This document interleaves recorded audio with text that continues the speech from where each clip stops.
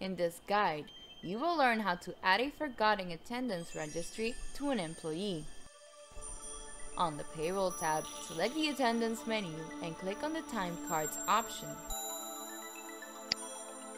Click the link.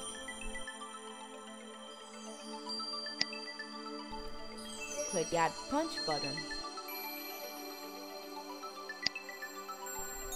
Enter the desired information into the time field. Enter the desired information into the on field.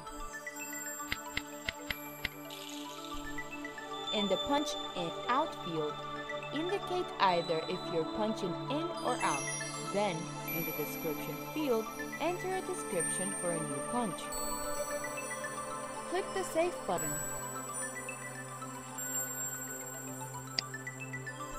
Congratulations, you have completed adding forgotten attendance registry to an employee guide.